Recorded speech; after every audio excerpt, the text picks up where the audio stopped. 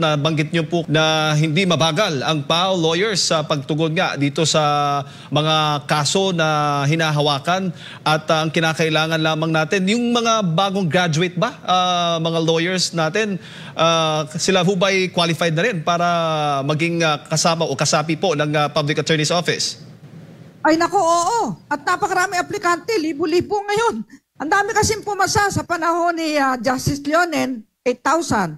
Sa panahon ni Justice Kagiwa, almost 4,000. So ang dami nag apply Kahit bago kinukuha namin, kaya lang limited nga lang yung item eh.